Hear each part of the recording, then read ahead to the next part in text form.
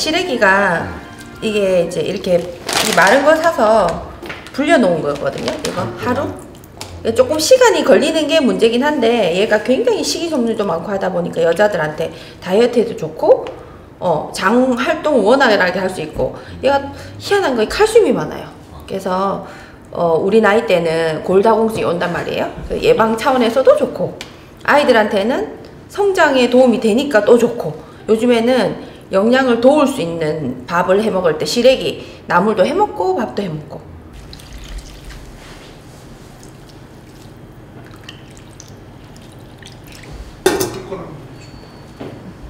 아직 끓고 나서 40분. 끓고 나서 40분. 와, 왜 그렇게 오래 걸려요?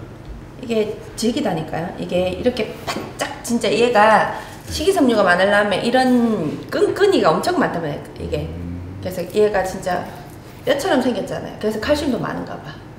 그쵸? 어, 식이섬유가 많다 보니까 이걸 부드럽게 하려고 하니 좀 오래 삶아야 되고 어, 좀 그 과정이 힘드니까 이제 삶아놓은 거 사시면 제일 편안하게 드실 수 있는 방법. 내가 만약 음식을 하는 사람 아니었다면 이렇게 안 나와 있으면 안 해 먹을 것 같아요.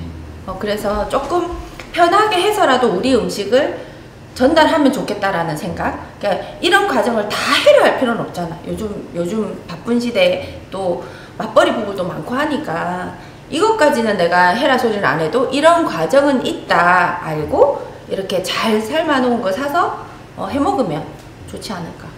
짠.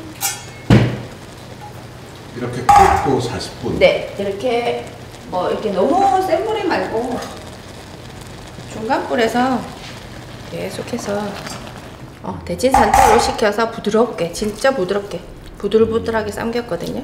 요거를 한 세 번 정도 씻으시면 돼요.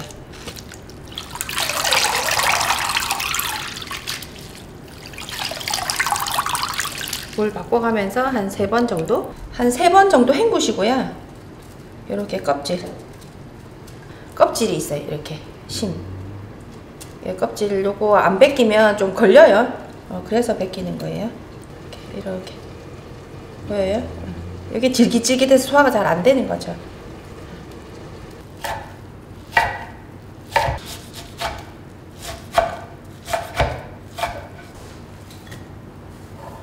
들기름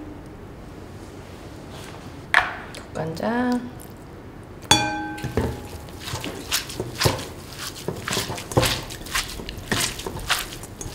이렇게 해서 이제 불려놓은 쌀이랑 밥을 안 치면 돼요. 밥물을 시래기 넣기 전에 자 이렇게 이렇게 해서 여기 자, 여기다가 얹어주시면 돼요.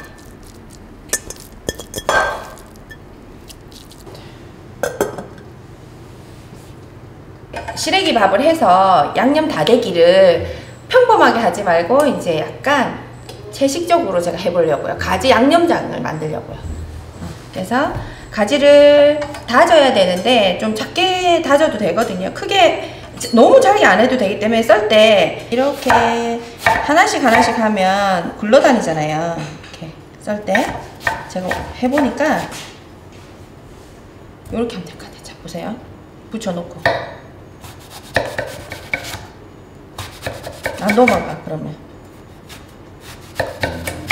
응, 안 도망가더라고요.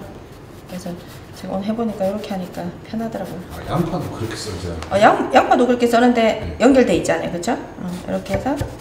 그래서 뭐 예쁘게 다지는 게 아니기 때문에 얘들은 볶아서 무르게 만들 거거든요 나중에. 어, 많이 무르게 할 거예요 지금 가지를. 이 양념 다대기는 아마 드셔보시지 못한 맛? 되게 맛있어요 자, 이렇게 해서 또 이제 이렇게 썰면 안 도망가더라고요.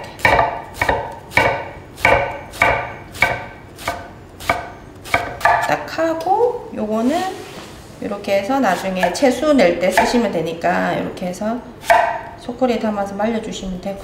들기름을 넉넉하게.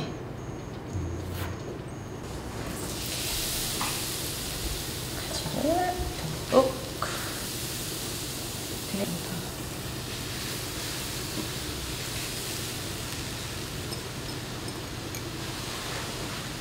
이게 빨리 무르게 하려고 하면 뚜껑 덮으면 돼요. 뚜껑 덮어서 숨을 빨리 죽여버리면 되니까 이게 잘 볶아져야지만 되게 맛있어요. 자, 다 볶아질 때까지는 양념 안 합니다. 볶을 때는 불을 볼 수가 있지만 뚜껑 덮을 때는 볼 수 없으니까 불을 조금 낮춰주시면 돼요. 뚜껑 덮을게요.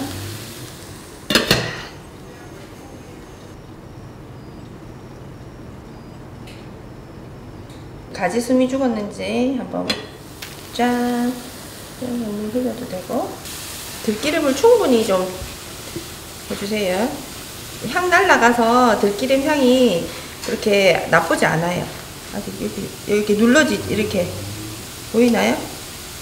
예, 이게 진짜 고무주걱인데 고무주걱으로도 이렇게 눌러져요. 어, 완전히. 깨지죠? 어, 요 정도면 이제 양념해도 되거든요. 이렇게 해서 조금 불 올려서 제가 한 번만 좀 덮고 이게는 약간 짭조름해야지 밥 비벼 먹을 수 있잖아요. 그러면 좀 많이 들어가죠. 자작. 그러니까 이제 좀 적, 적셔질 때까지 이렇게 끄고 나서 이렇게 하시면 돼요. 드실 때는 참기름이랑 깨소금 뿌려도 되고 이렇게 이렇게 수분이 좀 있죠. 원래는 밥이라든지 이런 이제 밥 위에 올려 먹고 이렇게 하는데 그렇게도 써도 되고 음식을 했는데 뭔가 밋밋하다 할 때 요거 살짝 얹어서 먹으니까 간이 되면서 되게 맛있어요. 감칠맛이 나 가지에서 단맛이 나고 다용도네요. 다용도 그냥 조금 맛없을 때 살짝 얹어서 드시면 그냥 맨밥에도 올려서 이것만 먹어도 사실 맛있고요. 어, 비벼 먹어도 맛있고 그냥 좀 밋밋할 때 어, 드시면 되게 맛있어요. 음식에 얹어서 먹고 뭐 근데 간장만 이렇게 했는데 맛이 나나요?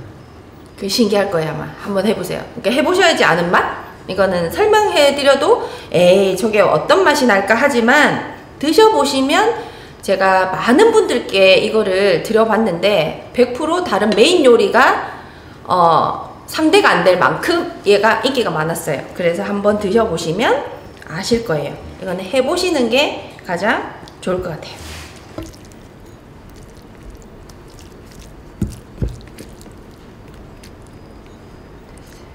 이만큼만 금방 갈아야지 맛있죠.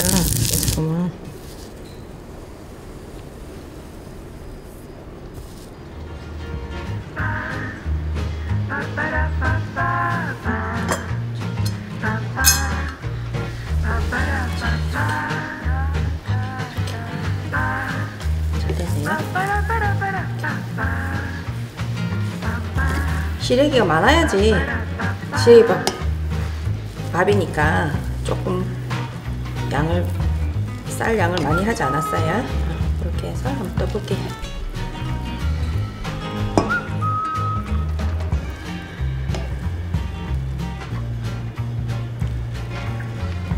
와 배고파.